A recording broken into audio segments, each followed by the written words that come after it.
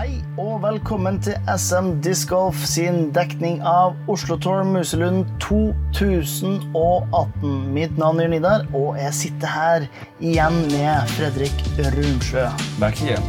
Back again for back 10, og vi har et uh, meget hot uh, leadcard i Open som vi, som vi følger. Det har vært uh, ace, det har vært trippelbogey, det har vært eh, fantastisk putting, det har vært eh, noen forferdelige OB-er. Det har vært rett og slett en uh, dramatisk front nine. Og etter det så er det Ron Caspersen som leder an med minus 11. Foran Fredrik Rundsjø på minus 8. Morten Falk og Tom Henrik Sandvik på minus 4. Og Anders Sandvik har slitt litt med putten og er på par etter første ni hullene. Vi er nå på hull 10, 88 meter. OB i barnehagen og lang der, samtidig som det også er OB på høyresiden i et markert felt. Og her er det nok Sky Heiser vi kommer til å få se fra alle sammen, vil jeg tro. Ja, mulig han kjører noe forward enn Anders, men det blir spennende å se. Mm. Ron går veldig høyt og ligger midt i fairway. Her er det som sagt, Hvis man skal pushe birdien, så må man holde den vinkelen. Pushe den framover, gå tett på treet og bare stoppe rett ved kurven. Litt sånn som Tom Henrik gjør, men han går litt kort. Litt Går kort. nok litt for høyt. Ja, det er ikke enkelt det å pushe en Sky Heiser framover og oppover, men eh, det er det som må til. Og her, eh, hvis jeg husker helt gærent, så var det en venstre Unnskyld, høy, nei, jo, venstre-høyre-vind. Ja. Men det ser ikke ut som du brydde deg så veldig mye om det. Fikk litt bedre kast på, på det slutten der. Fikk pusha han fram og holdt eh, nesa ned med vinkelen. Fikk en foreign roller fra Anders. Han sa han hadde parkert den eh, på trening. Jeg var litt overraska pga. det høye gresset. da. Men har man nok kraft, selvfølgelig, så Flyter oppå, kanskje. ja. Morten Sky high. gjør det der eh, greit. Det ligger stansmetall Henrik der på en tolv 12 meters eh, avstand. Alle har egentlig ganske greie kast, men det blir litt høyt, og da daler ned eh, 15 meter før kurven. Så får vi noen innspill, skråstrek, langputter. Morten gir en solid run der, bare går litt på høyresida. Bra run. Tom Henrik har jo spinnputten, så får vi se om Ja, det var litt lavt, så En liten uh, lefseputt. slapp lefse. Litt nærmere for det. Ganske kort uh, avstand, 3-4 meter. Ja, Setter Og den. Henter da et kast uh, på Ron og drar fram ett fra, fra Morten. jeg henta noen kast, og så plutselig begynte Ron å dra fra litt igjen. Og nå benytter jeg alle mulighetene jeg kan få jeg, for å klatre. Her er det bare å Ikke så mye å tape her. Begynner å få en liten luke ned på, på resten, og prøver å korte luken til toppen igjen. da. Her, eh, gjengen tapper inn.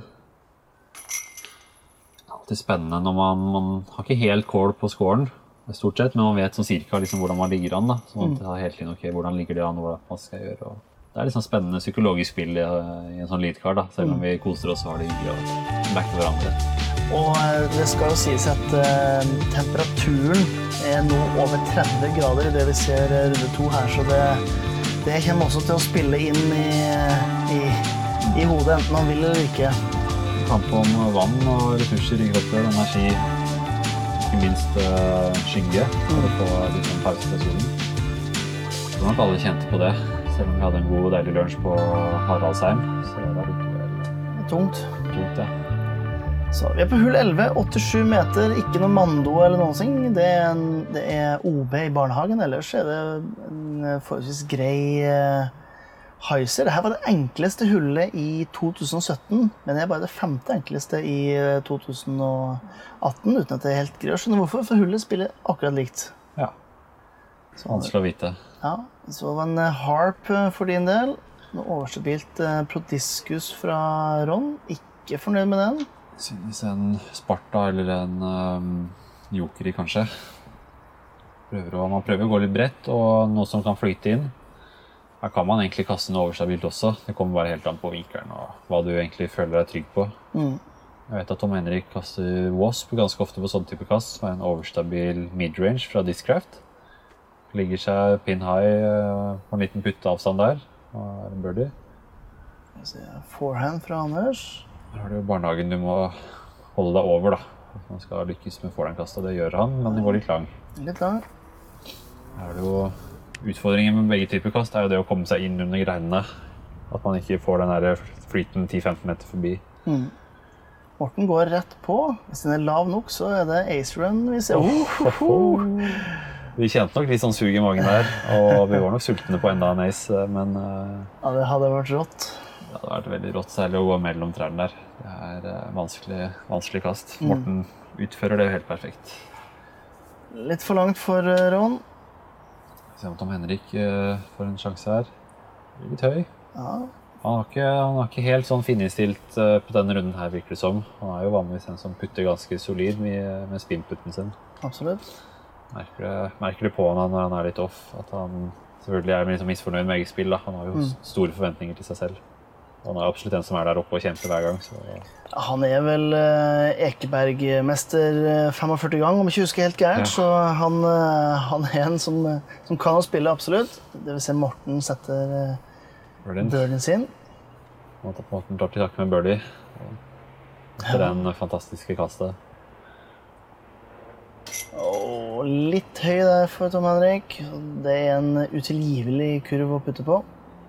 Så spytter den rett ut. Og legger den midt i. Heldigvis får jeg den inn der. Fra en fire-fem meter. Henter nok et eh, viktig kast på eh, Ron, da. Begynner å kjenne nå at nå har jeg til å fire-fem kast bak. Nå begynner jeg å snuse opp mot, uh, opp mot skoa på Ron igjen. Ikke så langt igjen. Det er veldig, veldig spennende når det begynner å nærme seg slutten av runden. Da. Jager godt, og det blir ikke noe enklere de hullene man kommer til nå heller, så man skal være på. På hele tiden, og gutta tapper ut. Og det er klart at såpass åpne hull, så, så svir det nok litt for eh, Tom Henrik. da. Mm.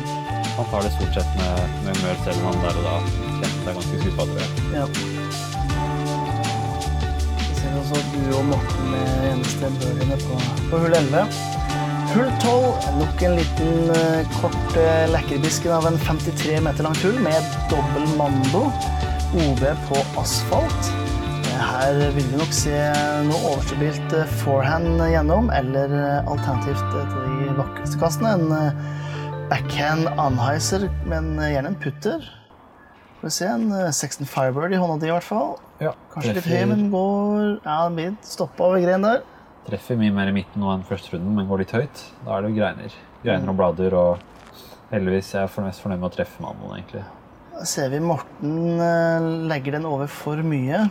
Det. Ja, vi får faktisk se en tommel fra Ron. Ron er ikke helt trygg på forehanden sin. Og misser mandoen. Litt synd, litt synd eh, egentlig, for der skal man bare legge den rett i. Men det er klart eh, Det er lett å bomme òg, for det er såpass trangt. Det der er en eh, absolutt parkjob av ja, Ikke foran kongen for ingenting. Nei, To tomler, faktisk. det er ikke ofte man ser. Og den Han stopper i det lange gresset, men eh, ligger på ti meter eh, ish. Får mulighet til å rette opp i, litt sånn den avstanden han har eh, vært litt off på. Hvis man får justert seg. Bra run fra Morten. Langt, og det er forholdsvis lavt der også, med de greiene rett foran. Det er sånn at man kan inn et run her, men hvis, hvis man får litt vind under den, så får man plutselig en retur da, som kan være litt ekkel. Kile litt i magen igjen. Jeg er innenfor for birdie. Nok litt, litt utafor liksom, komfortsonen, men Ligger bare eh, meter. skal nå gi det, gi det en mulighet. Legger den altfor høyt. Ja. Prøver å bare få den til å lande, og da får den litt luft under seg. Det er ikke alltid like enkelt når det er såpass åpent og øh, så mye vind som her, å fokusere på å, å treffe istedenfor å ikke gå for langt. Det er nettopp det. Å finne den gode balansen, da. Solid putt der fra Ron. Tom Henrik bommer igjen. Går litt lavt denne gangen. Og kommet inn i en sånn, litt sånn mønster nå med puttinga som man gjerne skulle sett annerledes. da. Mm. Han går heldigvis videre med paret. da. Han var jo fint kast gjennom mandoen først. Mm. Jeg tapper for par. Morten tapper inn for bogey. Og ja. fin putt fra Ron litt tidligere der for bogey også, fra en 6-7 meter. Anders bare tapper inn den birdien. Perfekt utført fra Anders. Og slipper å putte. Det er alltid det beste. Henrik er en hyggelig fyr. Ja. ser, eh, ser han smiler og koser seg, selv om han eh, ikke er helt på helt på der han skulle ønske han var. Da. Ja. Da ser vi at eh, da er det likt i toppen mellom det og, og Ron. Anders med eneste birdien. Back on track. Forhåpentligvis, idet vi går inn i det vanskeligste hullet på banen, som faktisk spiller helt kast over par. Det er en par tre. Eh, 86 meter, dobbeltmando til høyre for tre bilde, Og til venstre for den stolpen her. OB nede på fotballbanen. Lavt hele turen inn. Eh, og det, ja, det, er en, det er en grunn til at det er, det er såpass vanskelig som det er. For det er et teknisk eh, kast som krever mye kraft uten for mye fram og tilbake i, i flighten. Kan man gå foran roller, foran backhand. Trikset er jo selvfølgelig å gå lavt nok og ikke bomme mandoen, da. Mm. Men som du sier, det er jo ikke gitt. Man ser snittet på rullet er ganske høyt, og det, det er ikke overraskende. Absolutt ikke. Du er litt høyere enn i stad og Mest sannsynlig fanga av uh... blir fanga av trærne og får et litt tricky innspill.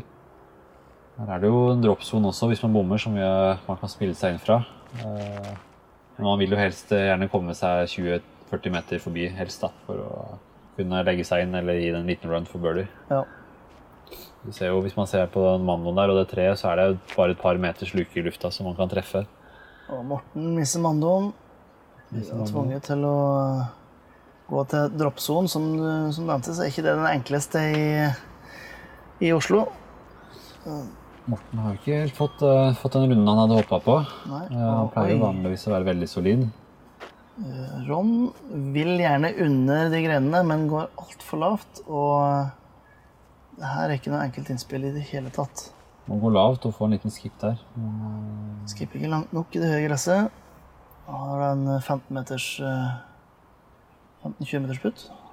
eh, Tom Henrik også har litt sånn krapp vinkel her. Krapp, hvis det er et ord. Ja, jeg tror jeg. Må legge seg inn på droppsonen. Skal det nevnes at det ikke er OB, den linja der. da. Det er eh, ikke spill på de hullene her. Midt på tre kast. Midt på trekast, eh, på sitt tredje kast. Eh, Og Morten er vel også på sitt andre kast, men han er jo OB, da, så har han penalty. Tok framover, men allikevel det, Han ligger da på en eh, 7-8 meter. Ikke noe enkel putt. Ja. Du velger å gå den vide ruta til venstre. Faktisk Går, en liten... går du for kurven med vilje der, eller? Nei, prøver å lande på oversiden og skli ned. Ble litt for høy. Ikke så... Jeg Har ikke kasta så mye den, den avstanden. Litt sånn usikkert. Mm. Men uh, hadde jo gjerne sett en ni når den først var såpass høy, da. Ja, da hadde du vært en av de tre birdiene i hvert fall som uh, ble tatt på banen her i løpet av turneringa. Ja. Og Siden Tom Henrik er litt ute igjen. Litt på riktig høyde denne gangen, men går forbi. ikke fornøyd, men eh, det er lett å forstå. Jeg har en liten oppoverputt fra en 7-8 meter. For par. Litt lav. Tredje putten jeg mister i dag. Jeg tenker at det er helt greit jeg, med tanke på, på måte, hullet, hvordan jeg spiller. og Skal jo helst ha paret, da. Men eh, jeg tenker at jeg kan ha råd til en bogey når det først er et såpass vanskelig hull.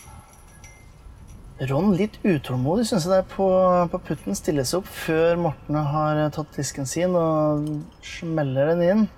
Kanskje han fikk en sånn uh, vindluke, eller han bare kjente seg klar. Ja, det kan være. Gjelder å, heller å putte hvis man kjenner at den kommer til å gå i. Redder jo bogien uh, Ron. Han, Tom Henrik inn for bogey, dobbel bogey. Eh, ikke noen supre resultater fra leadcard her, eh, dessverre. Men det viser seg, sånn som hun sier, at det er jo hullets, eh, banens vanskeligste bane. Hull. Og det- Jeg ser det er Anders med, med par, ellers er det bogey og dobbeltbogey det, går i. Fem over par spiller vi. Hull 14, 60 meter på en Island Green. Det er da OB eh, ja, til høyre for alt av eh, flagg, pluss oppå den eh, gangstien som dere ser til venstre i bildet. Her får eh, en forehand fra Anders. Det ser man ikke så ofte. Man ser nok oftere en eh, backhand. Og den her kan skippe langt hvis den skipper og Stopper, eh, holder seg akkurat. Den er, den er litt, nærmere, litt nærmere enn det ser ut som på kamera der. Mm. Men forehand er ikke så dumt her. Her gjelder det egentlig bare å lande god, da. enten man går backhand eller forehand. Ikke få den rullen ut som jeg gjør. Ja, den er OB. Det er små Det er marginer. Små marginer, Det er fort gjort å gå litt tett på, på lykta, lyktestoppen her. da. Vi hadde jo et eksempel i forrige runde på det som så ut til å være en perfect drive, og så ventet det opp med å bli en uh, ganske stygg uh, rollaway i OB. Morten legger seg på green. Er veldig god til å kaste de jokerne, jokeriene sine. Jeg tror også det er en joker eller Sparta fra Prodiscus som Ron kaster så bra. Den går litt bredt. og Mm. Litt kort, den en- også. Får en langputt. Flere langputter på det hullet her. Som en uh, aviar uh, pattern approach. Henrik. Kaster mye de gamle klassiske aviarene Tom Henrik, og putter med KC, tror jeg. Så jeg ikke husker helt feil. Kan nok stemme det. Men også han litt uh, i korteste laget. Og ja, gir en Nesten. run.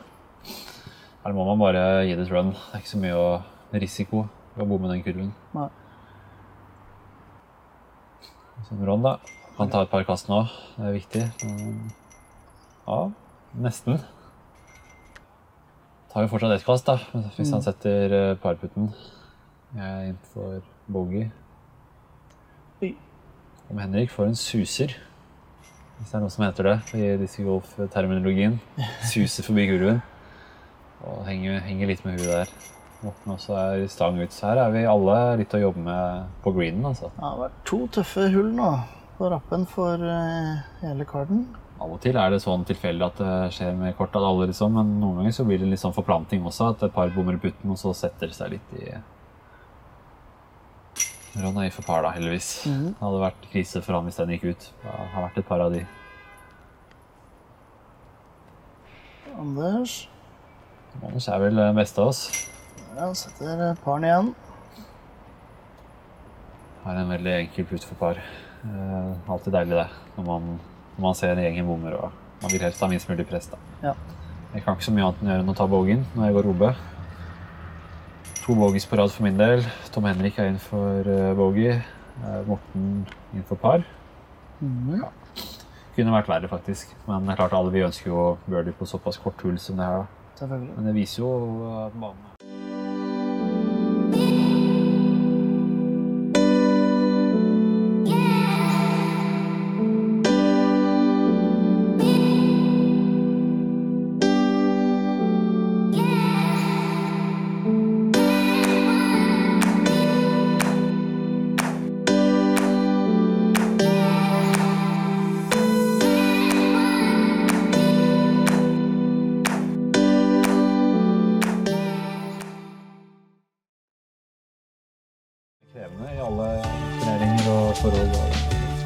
Gitt at man skal ta de korte kurene. Nei, absolutt ikke.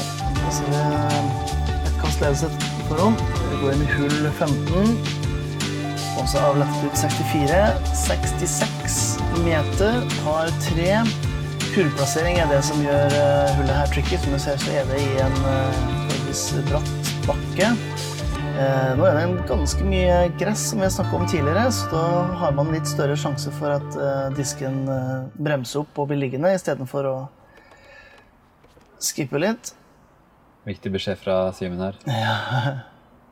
Vi får bare ett kamera på slutten, men vi får, heldigvis er det bra kvalitet på filmingen til Simen, syns jeg. Er solid innsats de gutta gjør med å, med å dokumentere turneringene vi spiller. Vi er heldige som har noen sånne i, i Norge, som er villige til å legge ned den tiden, energien og, og pengene som det som tar å lage den produksjonen som er på det nivået her. Vi tilgir deg, Simen, for å ta ett kamera. Det er, det er ingen andre som kommer med kamera, så det er takk. Ron sin, litt vanskelig å si fra, fra typen, det er det alltid. Den er så parkert ut, men den kan hende den er ned på nedsida. Her gjelder det å bare håpe. Krysse fingrene, håpe at den setter seg ganske nærme kurven. Fordi her vil du ikke putte fra oversida, og du vil ikke få den rullen langt. Da, da er det, får man en vanskelig putt. For en uh, utfordrende putt etterpå. Ser vi jo kan man bli tatt litt av vinden også, disken, hvis man får uh, men heldigvis så dropper den fint for Tom Henrik. Så ganske ideell ut. Får vi se hva resultatet blir.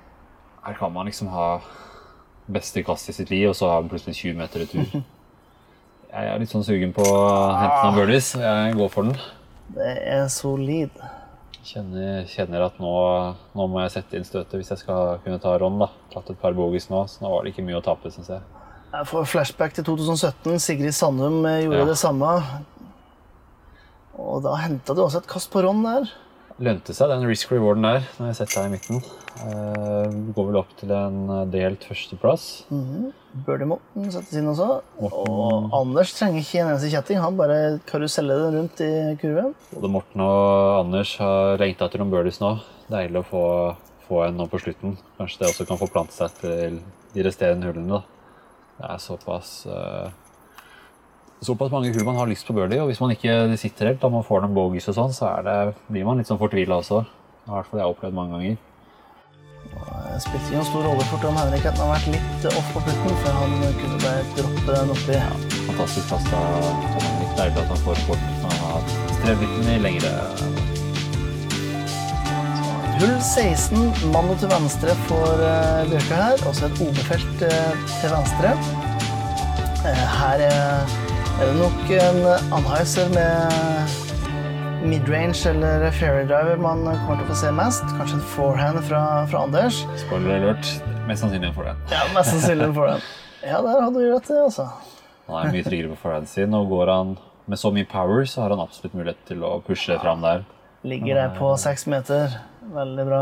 Nå må du gå tett på treet. Sammen med Anhauseren, for så vidt. Gå høyt og tett, og så ikke få den til å cuttrolle inn i bakken der. Og nesten black ace fra Morten. Legger seg fint på toppen og har mulighet for å spille seg inn til en liten birdie run eller en enkel par. Ja, hvis man eh, ikke har uh, poweren til å treffe så bra som du, du gjorde der, så, så er det rett og slett å komme seg opp på den lille knausen som, eh, som gjelder, som å ha et enkelt innspill. Kaste tønnebirden, som jeg har gjort hele runden, får den til å flyte fint inn. Det er alltid det er digg gull. Føles godt å få birdien her etter et par bogies. og Bra drive også fra Ron. Han går litt langt, faktisk. Begynner å må nesten rope four på de der oppe, men ja, han har en god margin. Han eh, får en liten testeputt der mot kurven. Henrik Og den kommer raskt ned. Det var vanskelig å se hvor den endte opp. For man, kan bli pusha litt ned av vinden her. Eh, gjelder å ha en disk som kan liksom få den perfekte flyten inn. Så må må jo sette vinkelen. Ron føler nok presset når du ligger bare på to meter der. Viktig putt for Ron å sette. Oh. Og dessverre litt lavt. Gi meg muligheten til å kjøre an mot slutten. Og siden eh, Tom Henrik ennå ikke har putta, så går det ut fra at den er ganske nærme. Ja. Tror han har Ja, ser her. Han har jo en helt nydelig drive. Gjelder å sette den, da. Og få en litt sånn god start på de siste tre, tre hjula som gjenstår. Ser ut på flaggene som han har litt grann motvind, men uh, Nei, endelig. bryr seg ikke om den. Kjenner nok nå at han trengte en birdie. Den uh... To på rappen. På tide å ang angripe for Tom Henrik. Du setter den. setter den, ja. Det er to-tre meter der. Det er uh... Ikke som du er veldig klar over hva det, hva det betyr. Og en da hyggelig fistbump for å oppmuntre noe fra Morten. og Det er klart at det, det hjelper, det. Når det er eh, så tett som det er. da. Mm. Det er jo kjempespennende og fortsatt mye som kan skje. Ja, det, er ikke, det er ikke tre enkle hull vi, eh, vi har igjen. Vi Det er hull, men tre ganske åpne hull. Vi får se, da. Med et fast ledelse, om det holder. Så er det litt spennende på slutten her òg, med Morten Anders og Henrik. Hvordan blir det med tredjeplass og andreplass? Hvem er det som holder hodet kaldt og sikrer seg de siste birdiene? Vi går inn i hull 17, 148 meter. Her har vi eh, satt opp et lite OB-felt midt i eh, sweet spot. Og eh, mange havna der, både på 16, på 17 og på, på 19. Det var i spill i alle de hullene. Par fire. En god pump oppover. Så selv om det er 148 meter, så vil jeg tro det spiller nærmere 160-170 meter. De fleste av oss gutta har jo muligheten til å kaste over, over feltet. Jeg tror det er det jeg prøver på. Det blir eh, litt feil vinkel. Jeg slipper den der og stopper heldigvis eh, god margin foran, foran OB der. Prøver jeg å få den til å ri med vinden, da, men den blir litt lav. Hel- Heldig med den. Tom Henrik òg kaster hardt, Så og flipper den. den går klar Nei, Nei, den er oppi. får den ikke den høyden som skal til for å få det, de siste 20 meterne han trenger. Dessverre. Og man kaste tredjekastet sitt. Dessverre for Anders òg. Han har hatt et par eh, veldig kraftige forehands, da, men denne flipper over. Får ikke noe rull heller. Den ruller bare inn i OB-en og stopper. Oi, det var litt av en airbounce. Den haiser vel ut uh, Ja. både til Ganske trygt å ligge der oppe, egentlig. Så lenge du ikke er støkk under treet. da. Mm. Men Morten uh, kan jo kaste er en av de som er veldig trygg på å kaste stillestående, så det skal nok gå bra. Ron eh, legger seg foran. Kasta ganske rolig og kontrollert. Og han er nok ganske trygg også på at han kan nå opp for birdien derfra. da. Ja. Veldig smart spill der, mens vi andre kaster litt hardere, men risikerer å gå OB. da. Et veldig risk reward-hull for de beste spillerne, det her. Ja. Men eh, OB-en begynner på drøye 85 meter eh, fra T-pad. Eh, og så slutter den en 110 meter eh, forbi, så det, det er en maks drive, absolutt. Jeg kaster en firebird oppover. Forehand. Kommer litt på oversida. Litt vid. Litt vid. Morten er jo helt parkert, helt nydelig. Ron gikk nok litt kort, men uh, litt kortere enn han hadde ønska for å få en safe put. Anders også, også forehand på, på kort. Så det er litt sånn eh, med gresset her, så gjelder det å få litt høyden nok da, til at den stopper der man vil. Tom Henrik også litt høyt, ligger oppe ved meg. Jeg, eh, jeg får putt fra skyggen, mens eh, Tom Henrik får putt fra sola. Kanskje det har noe å si. Solid putt fra Ron. Ja, veldig bra. Setter press på, på det. for birdien. Har, har jo det i bakhodet at nå trenger jeg å sette den også. Ja. Anders bommer. De har, eh, Tom Henrik. Tom Henrik òg. Har, eh, har nok vist litt usikkerhet denne runden på putten, dessverre. Og da blir det en del stang ut. For å matche Ron og fortsette å ha et kastledelse. Skal vi se, da. Litt sånn uh, ekkel putt der, men snikker den over. Ja, Sniker den over, som du sier. og se følelsene komme ut også. Og et- godt eksempel på hvor varmt det er. Alle samla seg i skyggen av det treet der sånn, eh, mens de venta på at du skulle putte. Så det, det var en særdeles varm eh, sommerdag, altså. på det varmeste nå. To- To-tre-tiden, kanskje nærmer seg firetida. Mm. Så da er vi oppe i 29 grader i skyggen omtrent. Ja. Tenk på hvor varmt det er i solen da. Så Tom Henrik frustrert. Det har ikke vært hans eh, runde, det her, dessverre. Har vi eh, tre, tre kjappe birdies for Ron Fredrik og Morten, mens Anders og Henrik eh, ender da på eh, bogey. Vi går inn i hull 18, shade-hullet. Midlertidig hull på 89 meter. En, en todelt, todelt hull. Den ja, en brei og fin fairway helt fram til drøye 70 meter. Så en Island Green som er ganske så tight, tør å påstå. Hvis man ikke havner god, hvis man går for eh, green, så er det en droppsone som ligger eh, 15 meter cirka fra kurven. Vi snakka litt om risk reward i stad, og det er ikke en stor øy, så du må gå bredt og gå rett på kurven, egentlig. Eller få den til å stoppe kanskje litt til høyre. Så at den Så det er ikke mye, ikke mye skip å hente her, men du parkerer jo hullet her, ser det ut som. For min del var det en ganske perfekt lengde for Firebird. egentlig. Gå bredt ut og så bare få den til å styrte inn. Ron har nok samme tankene. Litt usikker på disken han kaster. Ser ut som en fairway driver. Og veldig fin kast. Vanskelig å se herifra, men eh, Den eh, mener jeg husker jeg ligger ganske nærme kurven. Utfordringen er selvfølgelig den lengden og måle liksom hvor langt er det å se flaggen. og ja, og være trygg på å gå bredt ut over OB-en og så få den til å stole på at den kommer inn. For øvrig anbefaler jeg å gå tilbake og se Morten sitt kast igjen. Kjøre den i slow motion og eh, få en liten stilstudie av hvordan eh, det kan kastes eh, stillestående. En, et bevis på at det trenger ikke å være X-step og masse fart ut av T-pad for å kaste langt. Og så tar du Tom Henrik når du skal se på X-stepen, for han er ekstremt smooth sånn sett. Går dessverre litt for kort, da. Kaster en putter der og får aldri den flytende høyden.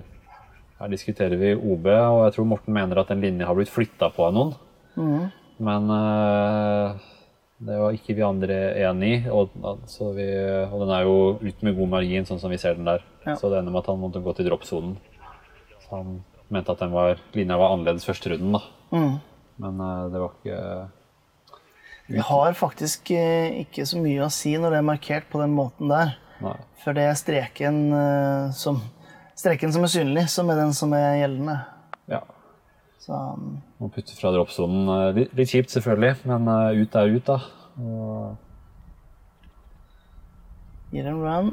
gir en run, uh, men blir bogey. Samuel Tom Henrik legger seg opp der. Ron for birdie. Veldig bra drive fra, fra Ron. Samme med min, som Veldig bra. Ligger parkert der. Så nå er det vært en hanekamp hele veien da, mot slutten her. Og det er alltid deilig å kunne gå inn mot siste hullet med ett kast ledelse. Litt mindre press eh, sånn sett. Men ikke Ikke uten press. Nei, ikke uten press. Det er et OB-felt der som fort kan komme i, i spill på hull 19. Ja. Så uh, ingenting er avgjort enda. Vi ser alle sammen uh, rydde opp. Tap inn for din del.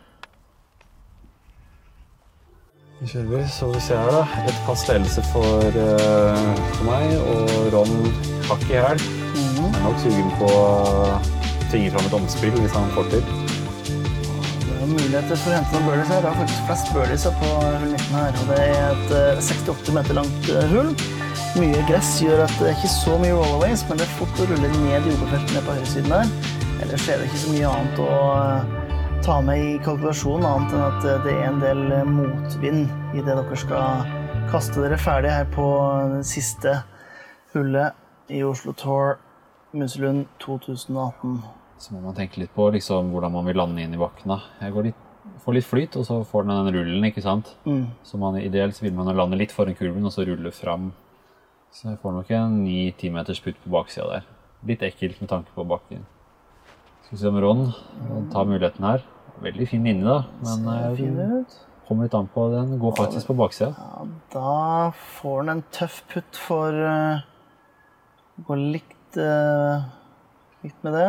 Vi fikk begge litt mer flyt enn vi hadde regna med. Og ellers ganske gode linjer, da. Litt usikker på hvor Morten havna. Han gikk lang, han også. Så ut som jokeren hans uh, tørna litt over der. Fikk litt flyt. Heldigvis gikk ikke den ned, ned i OB-en, da. Så fort kan skje. Ja, Det er den, uh, den motvinden som jeg snakka om, som eh, spiller inn i, ja. kastinga deres. Anders går litt kort, dessverre. Eh, men er safe. Ingen given birdies, eh, ingen parkeringer enda. Motvind pusher disken til Tom Henrik også, og det er faktisk ingen som er på synlig green, i hvert fall. Skal vi se, da. Det gjelder å spille Veldig seg inn. fint innspill fra Morten. Tom Henrik kan gi det en run. Og sitte! sitt, da. Stang ut, dessverre, på siste også. Ja. Var, um, som vi sier, litt, uh, litt skuffende runde for Tom Henrik. Han kjenner nok det, at han gjerne skulle satt noen av de puttene på nytt. Mm. Anders gjør ikke annet enn å legge seg opp, og så står jeg og Ron og diskuterer hvem som skal kaste først. Men uh, det ender opp med at, vi, at Ron får gå. Han får æren, og han må jo sette den. Og det er litt deilig, for da kan jeg vurdere å legge meg opp. Får ikke det presset, da. Nå vet jeg at jeg kan legge meg opp og, og ha seieren. Og det gjør du også, med mindre du gjør noe katastrofalt eh, fra halvannen meter. Det skal vel litt til. Ja, det er ganske, ganske trygt derfra. Det skal mye til å bomme fra to meter, selv om det kanskje Ja, det skjer. Been there, done that. Ron setter, deg ganske hardt i. Litt irritert på seg selv med tanke på at han hadde såpass god ledelse. Han har jo spilt veldig bra hele veien. Selv om han har hatt et par stang ut på midten her, og sånn, så har han vist eh, gode ferdigheter på den banen her. Det var veldig, veldig spennende å spille sammen hele veien. Morten tapper ut, tapper ut. Der er seieren et faktum. Bare gratulerer, Fredrik, med, med den. Årets første Oslo Tour er i boks, med Fredrik Runsjø som vinneren i Åpen. En veldig spennende andrerunde her. Mye fram og tilbake. Som jeg sa før vi begynte her, så var det både ace og eh, fantastiske putter og forferdelig uheldige putter og i det hele tatt. Og litt sang ut her og der. Ja.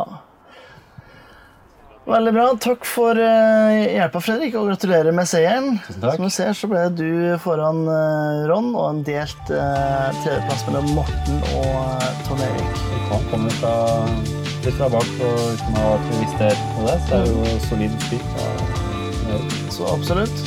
Jeg vil anbefale alle å sjekke ut Patreon til eh, SM Disc Golf. Støtte Simen og Magnus sitt eh, utrettelige arbeid for eh, å ja, få norsk discgolf ut til eh, massene. Da, eh, på vegne av eh, Fredrik og meg sjøl vil jeg bare si tusen takk, og så ses vi plutselig igjen om ikke så lenge på en ny Oslobane her i Oslo Tour. Takk for nå. Ha det bra.